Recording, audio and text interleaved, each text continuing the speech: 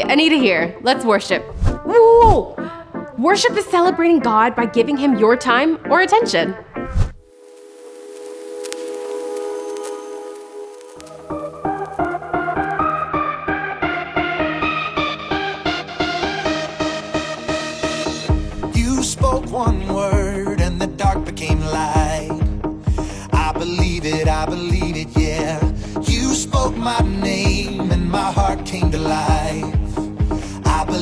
It, I believe it, yeah. I wanna sing about it, I wanna scream and shout it. I'm gonna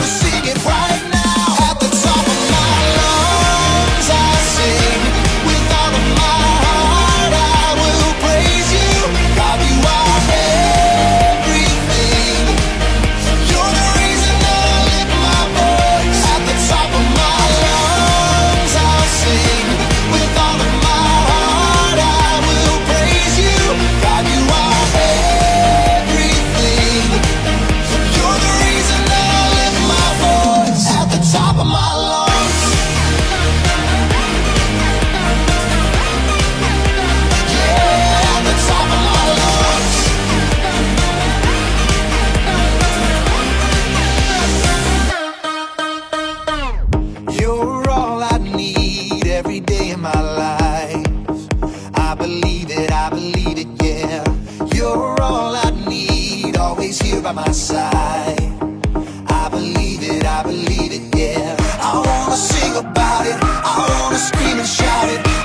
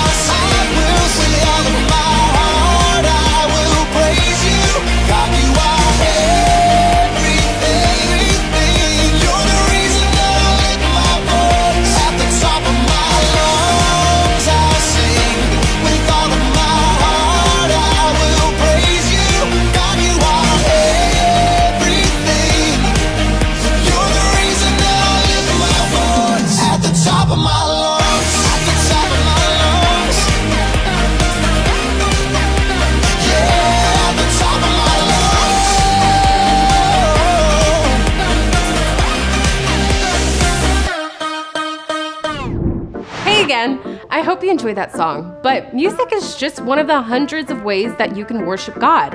In fact, a few months ago, Jonathan and Grant explored eight ways that you can worship God. Check it out! Hey, my name is Jonathan. Grant. And today we're going to show you eight ways that you can worship God. Worshiping is giving God your time and attention. Watch till the end of the video to find out why worship is so important.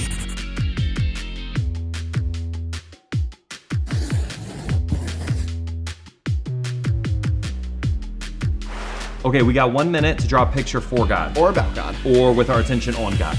Ready? Uh, let's go.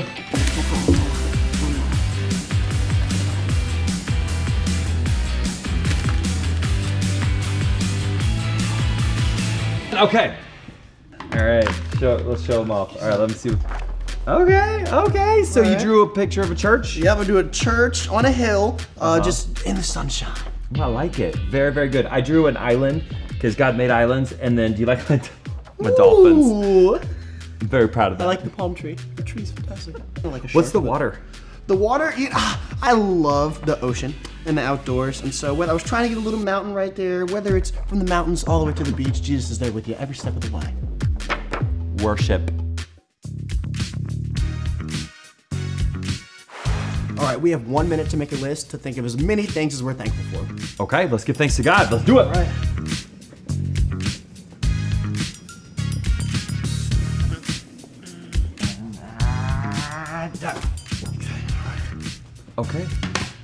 Let's see what we got. I had, So- let's see, coffee, peace, faith, frisbee, brownies. I love cheese. Cheese is good. Cake, ice cream, art, music, peanuts, and can't forget bagels. That's like a really good list. Mine, um, mine was less mature. Um, food, my kids, my home, Oh. toots, bathrooms, uh, church, Meck, animals, elephants, peacocks, the Tar Heels, basketball, football, and hockey. So Oh, hockey. yours is yours is way more Jesus-y than mine.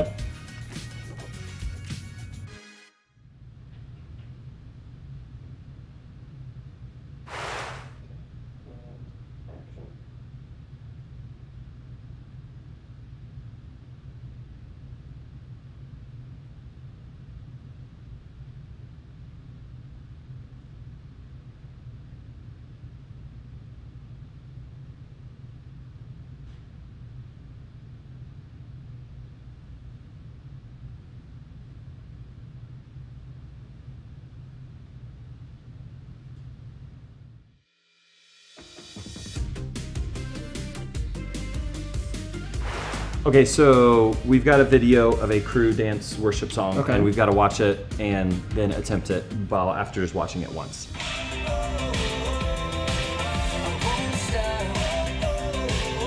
I can't stop, won't stop, I'll never stop singing your praises.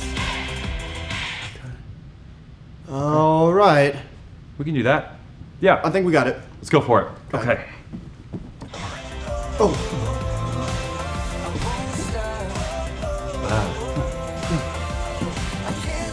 That's this part. I got it. I think I got it. I think I did it. Nice. oh yeah. Oh, that was good. Was that oh. good? Okay, now it's your turn. Stand up and worship God.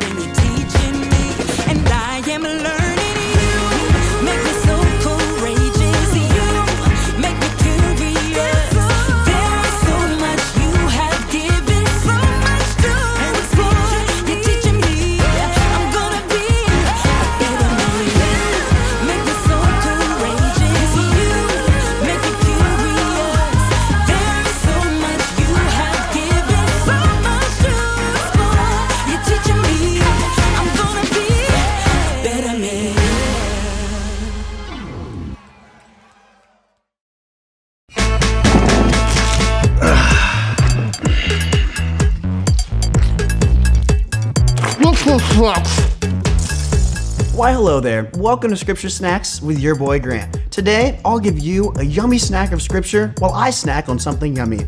Our Scripture snack is from the book of Psalms, chapter 136, verse 1 in the Bible. Time to snack. Give thanks to the Lord because he is good. His faithful love continues forever. Mm, now that is scrumptious.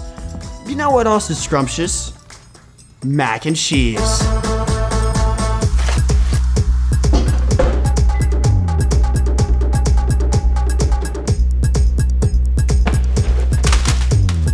All right, it's ready.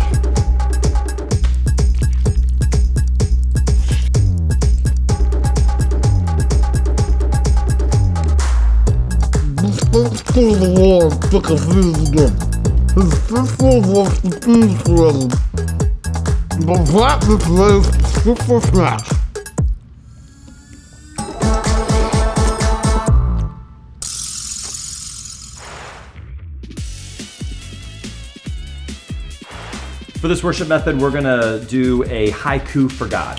What's a haiku? Uh, yeah, nobody really knows, but it's, the internet says that haiku is a short, unrhymed poem that adheres to a specific three-line, 17-syllable format, five first, seven on the second, five on the third, and it focuses on like this brief moment in time, juxtaposing two images, creating a sudden sense of enlightenment. Okay. I think we just gotta write like a little three-line poem that doesn't rhyme. That works. Yeah, let's go for it. So we've got our we got our mm-hmm. poems. You ready? Mm-hmm. Okay, here's mine.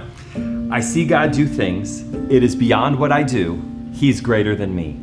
Yeah. I, I actually felt like that was a pretty good one. I like it. I like it. Okay. Okay, give me yours. All right, here we go. God thunders on high. I thunder differently. His thunder stinks less. Is that about toots?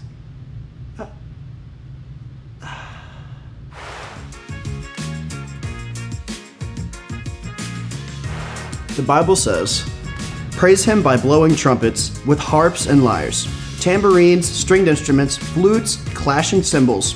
Let everything that has breath praise the Lord. So let's worship God with some uh, musical instruments. All right, here we go.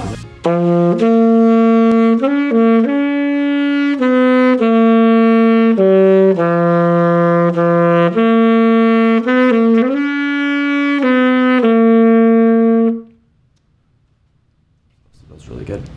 Take it away. All right, my turn.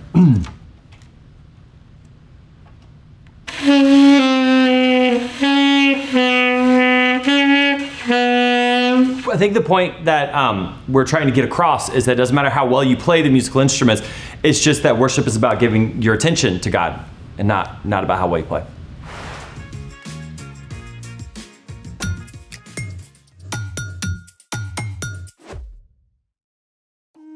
Hey, I'm Zeke. And this is. Carter.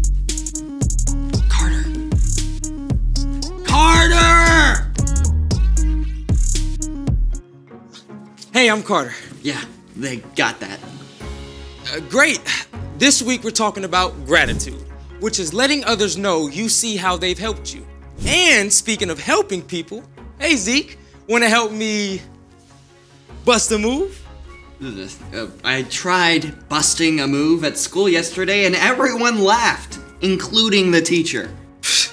Dancing is fun and really good for you. Not so sure it's good for my self esteem.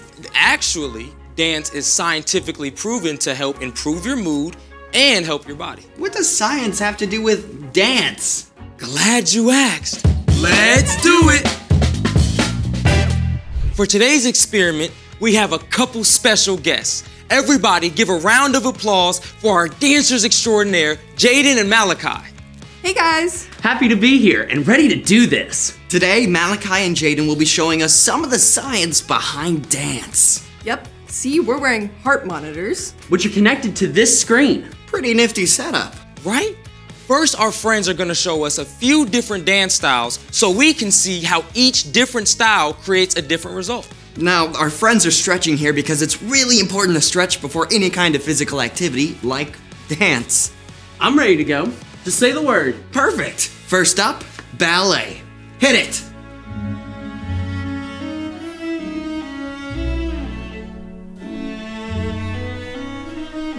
For this song, notice how Malachi's heart rate stays pretty low. The moves are focused on big motions like bows and leg lifts. Dance can require a lot of flexibility, which is why it's always important to stretch before dancing.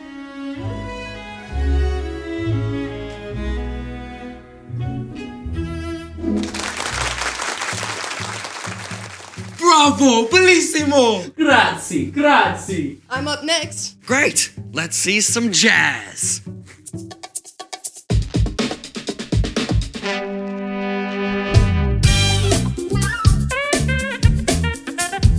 Notice how her heart rate speeds up with the faster music. The faster the tempo, the higher the heart rate. Your heart pumps blood, which carries oxygen throughout the body. The harder you dance, the more oxygen your body needs. Was awesome! Thank you. And now for our grand finale hip hop. Go!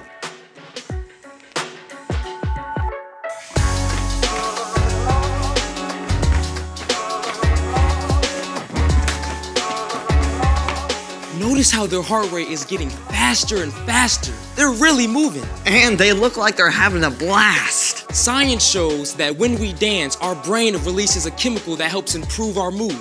They're great for brain health. Happier brain for a happier you.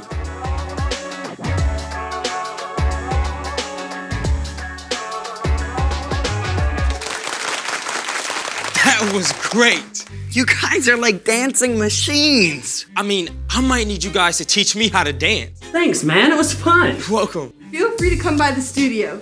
We gotta go. We'll see you later. All right, bye, guys. Wow.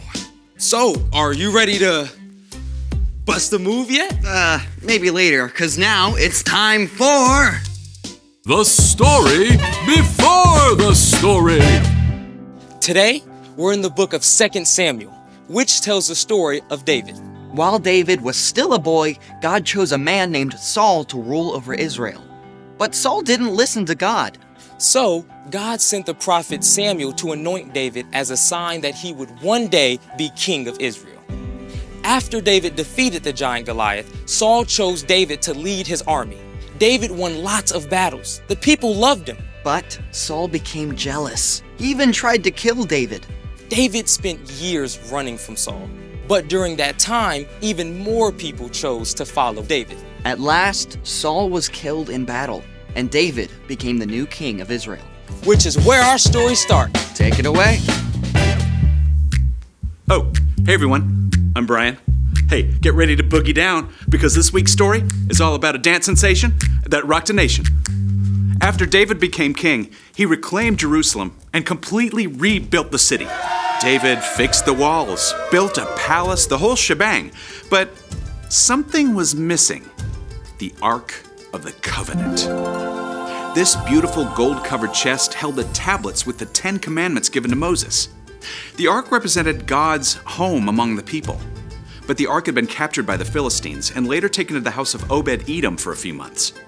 Now David knew the time had come to bring it home. Gather your men. The ark must be brought to Jerusalem, where we shall hold a great celebration in honor of God. At once, my king. David traveled with the people of Israel to retrieve the ark. As soon as the religious leaders got the ark situated on its poles, the whole group set out for Jerusalem. But after only six steps with the ark,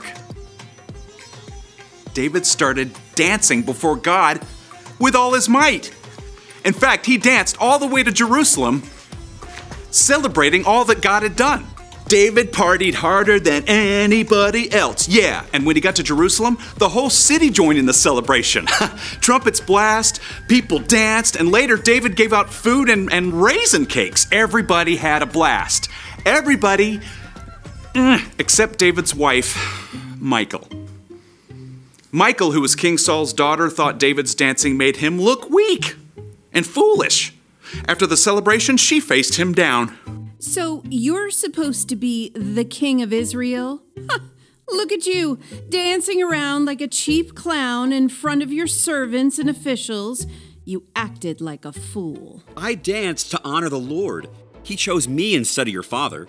Rude. I will celebrate to honor the Lord, and I won't stop. Those servants and officials you spoke about will honor me, even if you do not. Hmm. Safe to say, Michal was not convinced. But hey, David didn't back down. He used dance to celebrate all God had done for him and for the people of Israel. The end. Wow. David cared more about giving a big shout out to God than what the people thought of him. I wonder if David was a good dancer. well, you know, the awesome thing is, it doesn't really matter. He was just celebrating God. So, what's our part in the story? Well, there are many ways that we can celebrate what God has done. You can dance for sure, but you can also share with others what God has done in your life. You can even use the talents that God has given you as a, as a way of celebrating. Any way you choose to celebrate God is A OK. God loves you no matter what. But what kinds of things should we celebrate? Everything. God's given us so much food to eat, bodies so we can dance, people who love us. And we can always celebrate what God has done by sending Jesus to be our Savior. But what if our way of celebrating makes us look, I don't know, goofy? Look at me, doesn't matter. if you enjoy doing something to celebrate God, don't worry what others think. God made you just the way you are. Yeah, so sing, dance, ride a unicycle if that's your thing. Yeah, exactly. I think you got it. See you next time. So, here's the thing celebrate what God has done. Right, Zeke? Zeke? Zeke!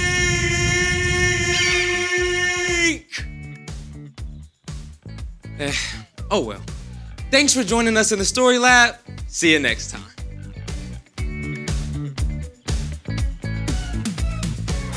When you hear something from the Bible, ask three questions. What does this show me about God? God deserves your worship. He deserves your time, attention, and honor. What does this show me about me? You were created to celebrate God. This is huge. Most people get it upside down. Thinking about God in terms of what He can do for you, listen to you, protect you, help you, give you things. And yes, God is a good God who loves you and does stuff for you. But the truth is, you are not God, and instead on focusing on what God can do for you, focus on what you can do for Him. Specifically, celebrate Him, worship Him. What should I do now? Celebrate God. That begins with choosing to follow Him by admitting that you're not perfect and that you believe Jesus is God and died and rose again and can forgive you for your sins. And then choosing to follow God with your life and to live God's way instead of your way. But that's just how it begins. Look for ways to celebrate God through music, dance, art, sports, whatever. Make your life focused on God. Pray to Him, thank Him for stuff, obey Him, celebrate Him. And I will see you next week.